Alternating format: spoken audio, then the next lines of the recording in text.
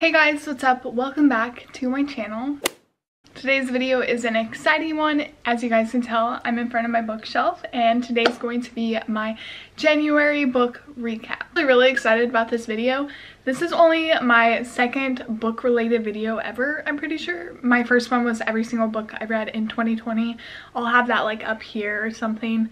Maybe if editing Aubree remembers like 60 books last year, so there it is. But i have always been a avid reader and especially in the romance genre type vibe everything. I have lots of books but i've read read so many more. But i thought it would be exciting to kind of track at the end of each month every book that i read. I do have a goodreads account if you guys want to check it out. It'll be down below. I write reviews and rate it and all that stuff. Um, Um, I'll be loosely talking about every single one of these books, but yeah, I guess I'm going to go ahead and get started. I'm going to try to remember. I don't have my phone in front of me. It's like across the room charging right now because I'm actually about to move. Like my room is destroyed right now. It's like literally 8.30 in the morning. But anyways, yeah, I'm going to try to do this all from memory. So if you want to check me or uh, fact check me, just go to my Goodreads account. So before we even get started, I want to say the number of books I read in January. Um, but before that, my goal for uh, my goal for 2021 is 60 books. I read 60 books last year, so I thought that was a good place to stand. If I read more or less, it's okay. I feel like if I keep at this rate, I'll definitely read more than 60, but anyways, my grand total for January was 12 books. A lot more than I expected. I was hoping to do like one book a week and then throw in some extra here and there, but yeah, I'm excited. Um, I guess we will go ahead and get started. First book I have is Today Will Be Different by Maria Semple. Um, she's a national bestseller of Where'd You Go, Bern Bernard? Bernard? I don't know. I've seen this book around. I think I'm to read it just to read it. I actually found this at the local Dollar General and I was like, actually that kind of looks good. So I, did decide, I decided to try it out. I either rated it a 2 or 3, honestly cannot remember. But it was just like eh to me. Like it's not a book that I would normally read. It was, I feel like this is a comedy novel, I would say. Um, I read it in one day, so it was a super easy read. So if you're looking for something simple and from a national bestseller, you have where or you have Today Will Be Different. Um, yeah, just a book for me. The next book I read is actually so, so good. It is Dune by Frank Herbert. I feel like this is such a popular book, especially with a new movie coming out. But I saw this at my boyfriend London's house and I was like, actually, I've been wanting to read that.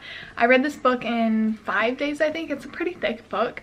But um, yeah, this was like my first sci-fi novel in a while, if not ever and I just I love this story so much. There I believe there's eight novels six from Frank Herbert and then two from his son.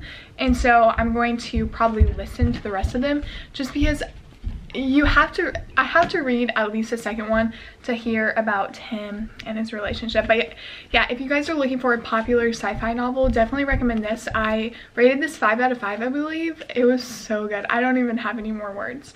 This book right here is what like got me into my like let's read. But anyways yeah book I finished is actually a devotional. I started this in October. It's the Embrace uh, Hundred Devotions to Know God is Holding You Close by Lysa TerKeurst. Um, yeah, like I said, I started this in October. I finished it January 5th, I believe. I rated it 5 out of 5 just because it was my first ever devotion and there I had nothing against it. It was really good. There's like, like I said in the title, there's a hundred. So it lasts you a pretty good amount of time um, but for my first devotion I thought it was really good and I would recommend if you guys are looking to like jump into the word. So I'm so excited about this. I made it a goal for myself to read the entire Twilight series, um, well the books I have while I was back home and I did that. I'm so excited. So of course first off we have Twilight. Um, the the novel itself it's so good. Um, i wanted to reread the entire series because i bought midnight sun and i had it i've had it for months and i wanted to read all of these first. So that's what i did. So um yeah i it's so bad but like i rated all of these five out of five just because they're so good. I love it.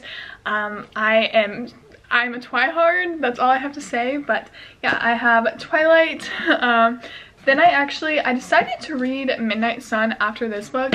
It was kind of like repetitive and, you know, but still 5 out of 5. I want Stephenie Meyer so bad to write all of the books from Edward's perspective. I I know she said she wasn't, but I feel I I think she's going to because like she's missing out on money if she doesn't. That's all I have to say. So I read these two. Eclipse and then Breaking Dawn. These books are great. I read two of them in one day and then three of them I think within two days or so. But yeah, so good. Rated 5 out of 5. And then this is actually something I'm currently reading, but I wanted to mention it because I started it after the Twilight series. It's called The Women in White.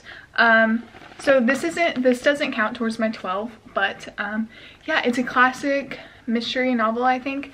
I just wanted to kind of mention these in the order, but just know this is what I'm currently reading. My last four books that I have read in uh, January is a series. I thought I wanted to like read The Women in White. I didn't want to read another series, but I decided to pick up The Red Queen. I read all these books, so good. Two of them I read in one day, and then the other two I read within two days oh my gosh guys this series if you guys are looking for like a romance betrayal dystopian fantasy novel read this I don't even know how to explain it. It's so good. If you guys have read this, tell me whose team you're on. I don't know why I'm on team Maven. Like I like both char or both guys, but like I don't know. I just like Maven. He kind of reminds me of Loki or something. But um yeah, definitely would recommend these. These all were rated four stars. It's by Victoria Aveyard and I rated them four stars just because like I don't think they were like the best series in the entire world because there was like some things that I was like annoyed about or stuff like that.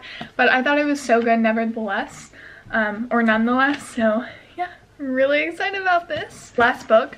This doesn't count towards my 12 either but um, it is the it's like 4.5 in her uh, series. I don't have the like fifth book which has two novellas in it so I won't be getting that. But anyways this is like a collection of stories um, kind of diving in more. And like I said I'm currently reading it. I feel like I'm probably going to finish it before January. If not you guys will probably see this again in my February reads. But yeah I just I literally love this series so much. It is insane. I would definitely 100% recommend it. That is basically the entire like what I read in January I guess. Like I said these are like my two current reads that I might finish just before January ends and this will definitely be in February because this is a thick book. Yeah, I'm so excited. I will be doing a video like this hopefully every month at the very end. So I'm pretty sure this will be up on February 1st. I am so excited. Sorry I missed uploading last week. I didn't have anything to post and I didn't want to like force content. So that's why I missed last week. I'm gonna start packing up my car. So peace and love. Bye guys. Feeling.